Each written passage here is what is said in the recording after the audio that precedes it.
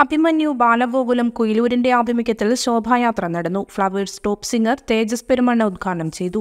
ഉദ്ദേശ് കോയാടൻ അധ്യക്ഷനായി. ശിഖ മനോജ് ലഹരിവിരുദ്ധ പ്രതിജ്ഞ ചൊല്ലിക്കൊടുത്തു.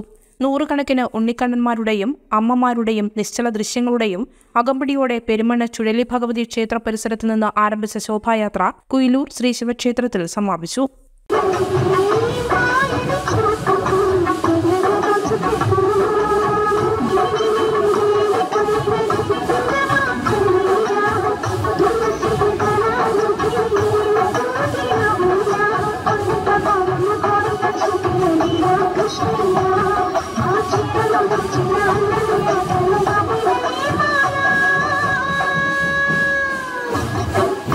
I'm